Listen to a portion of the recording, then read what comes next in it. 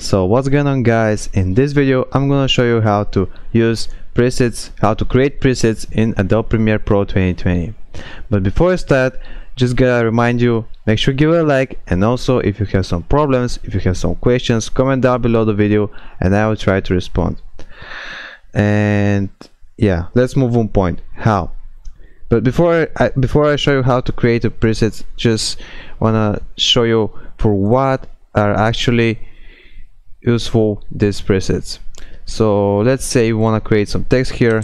Let's say that's hello. And also let's change the design a little bit. Yeah black. Let's make it purple. Wait why? Let's make it purple I said. And yeah. But yeah we created the text but we wanna we wanna use this text very often in our video. So it will take it will take a lot of time if we if we are creating it every single time. Yeah right. So how to make it like a shortcut or something right here and to use it. So here is how. That's why presets are created in Adobe Premiere to make your work more easier. So here is how.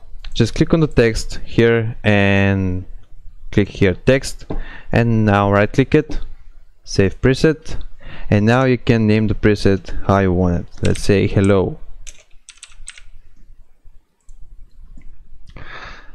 And now how to put how to put this text you know you know here in the video just click here effects and search for this preset this preset that you created. Hello here is. And now click on text here. Click on the video. And now you don't have to type anything. Just drag the preset. Now put it here.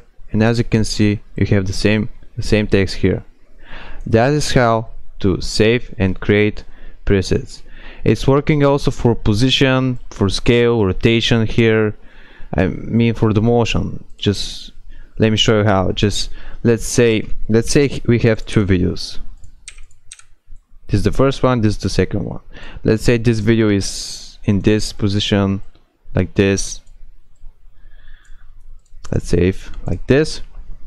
And now we want to make this this one as the same with the same position. How? Just click here motion with a right click and then save preset. Name the preset like motion like this. And now let's say we want to make the same the same with the same coordinates this video. Just click here on the motion or just if if you can find it just search it motion like that and drag it here and as you can see now have the same coordinates as the first one video. And that's how to create presets and to use them. It's working for text for for motion and also for opacity for time rem remapping and others so if I helped you out make sure give a like. And as I said if you have some problems some questions comment down below the video in the comments and I'll try to respond. And see you next video. Bye